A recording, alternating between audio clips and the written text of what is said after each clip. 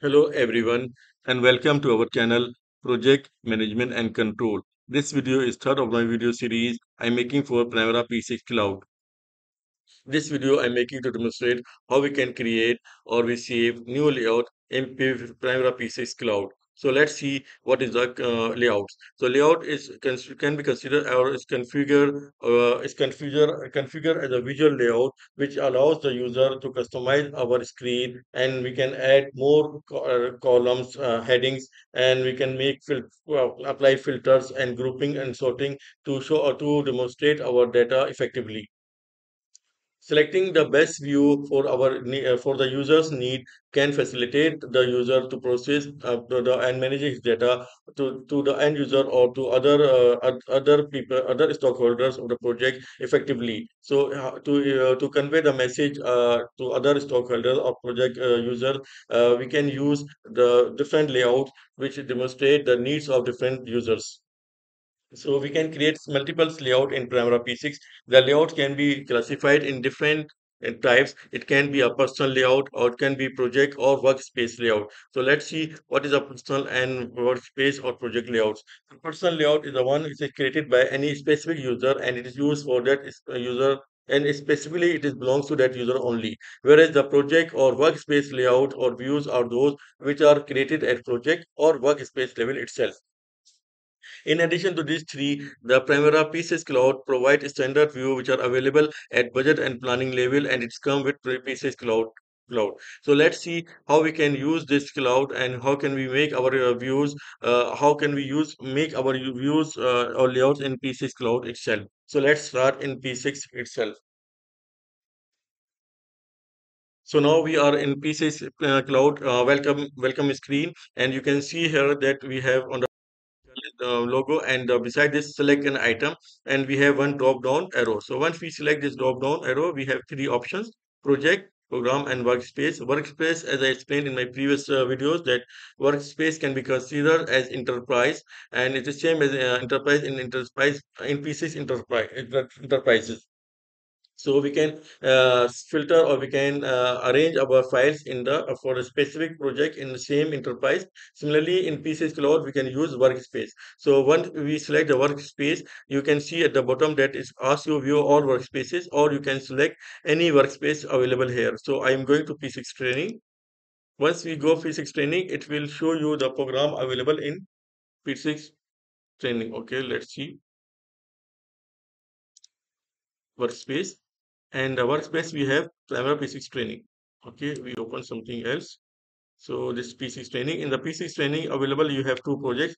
So we can select the project directly here, or if if your workspace contains more projects, you can uh, select down view all projects to list down all the projects. Because we have only two projects, so it is showing only this project. We can select either from here or we can select view all projects and from here it, it will list down all your project available in that same uh, work uh, uh, in the same uh, uh, same work work workspace. So we select this new medical center.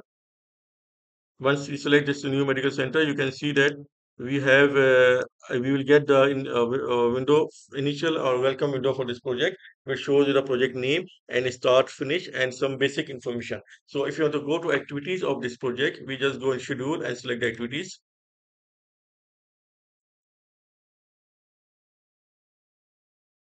At the top, you can see that new medical center and in camera training. So this workspace name. So this is the layout already I'm created. It contains activity ID, name, plan, and duration. And before going to this, I will prefer if we go again in the uh, Oracle main screen and in the uh, this uh, from the username dialog box, you can hear dot, one uh, drop down uh, uh, drop down arrow here. From this drop down, you can go and in the preferences you can find at the bottom uh, layout save views you can say save view manually or save view automatically. So if you want to make if you make any changes or you want to save it automatically you can select this automatically or you can save manually. So anything if you want to avoid a manual or you want to edit anything you are making any changes you want to save it so you can select menu uh, automatic option. Or you can if you if you're just making something for only experiment purpose and do, you don't want to save it then select to better to save uh, I select the option of save view save views manually. So it's up to your uh, specific requirements. Uh, we have no choice. Uh, I have no option for this. Uh, no, I have no comment for this one. This will be depend anyone's personal interest, uh, pers- personal preferences. So we go here and we can select item here, workspace. In the workspace, I select the P6 training. And the P6 training again, we select our program project. And from schedule, I select the activities. So once activities are selected, you can add some column here. For example, I want to show the labor plan labor units. Okay, you can see here plan labor units came and it is hide it. So to unhide it, I just uncheck this one here. Now you can see that the plan labor units are shown here. So once if you go here and you, ref you refresh your data and you reload, uh, changes you made may not be saved and okay, and you reload it. You can see the column we just added it's gone. So similarly uh, if you want these changes to be added automatically we have to select the option automatic option there or otherwise you have to select manual option. So we select manual option that's why the column we added here for the pc labor units is not shown here so if you want to show uh, if you want to add one more layout for example here and we go here in the view dialog box view original baseline this is our uh, our layout names. So we just uh, click this drop down and here you can see that we, uh, we have only one layout which is original baseline view. So from uh, top you can select manage view. And the manage view you can see here that uh, this uh, managing view dialog box will came out. And here you can add one more under the personal. Okay and then you can give the name.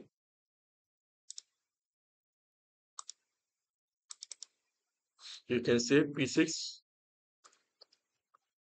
training layout. Okay and for example here we want to add units of plan labor units. You can see here plan labor units. We just select here. Okay and we say plan labor costs this we to edit here. Once we edit this here we can save it.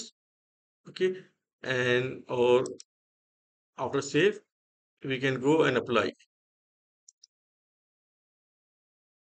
Okay now we the you can see here our view is now p6 training layout and this training layout shows our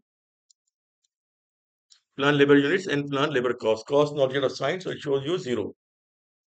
So if you want to go back again to original baseline you just go in the view in the view you can just open directly and original baseline view. Okay just select this one.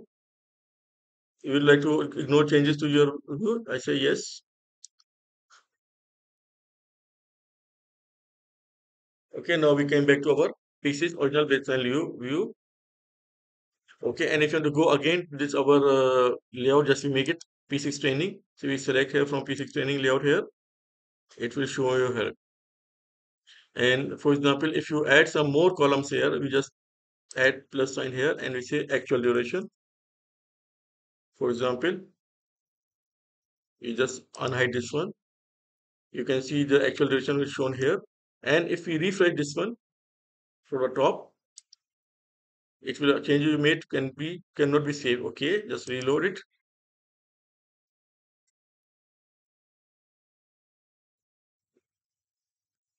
And you come back to our p6 training layout.